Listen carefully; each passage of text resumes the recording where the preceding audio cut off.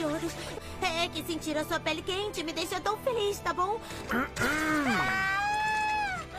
Ah, e aí, Zarata? A breve luta de Meliodas contra Deriere foi muito boa, principalmente pela forma que o Meliodas estava lutando com ela, onde a mesma estava vindo com sangue nos olhos para cima dele, e enquanto isso Meliodas estava levando a luta na brincadeira. Obrigado, Rock.